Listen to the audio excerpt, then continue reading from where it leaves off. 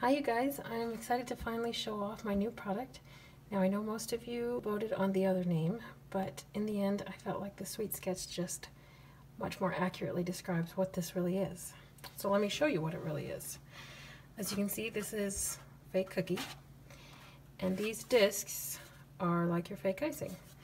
They fit right into the top, and this can be used to practice airbrushing it can be used to practice piping. You can stencil with icing. You can do whatever you want with it. Now, they're double-sided, so you can airbrush them twice. And the great thing is that when you're done, you can save them. You don't have to wash it off and lose what you did. You can use these to test out your icing colors, to test out different color combinations, or just really hone your airbrush skills, or really just practice piping or anything that you want.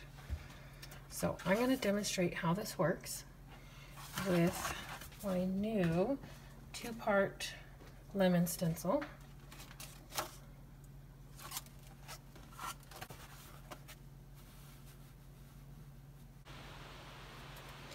For those of you who stencil with a stencil genie, you'll see that this fits perfectly under the shorter half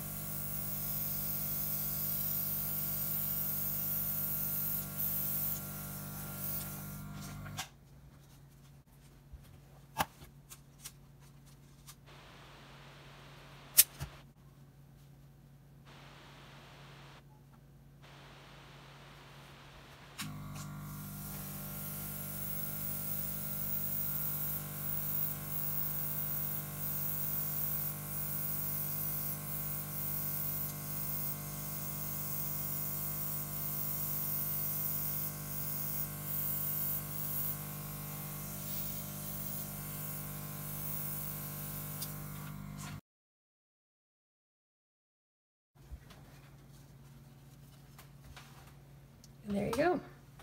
Now you can just take this out. If you want to do more, you can flip it over, do the other side, or you can just save that.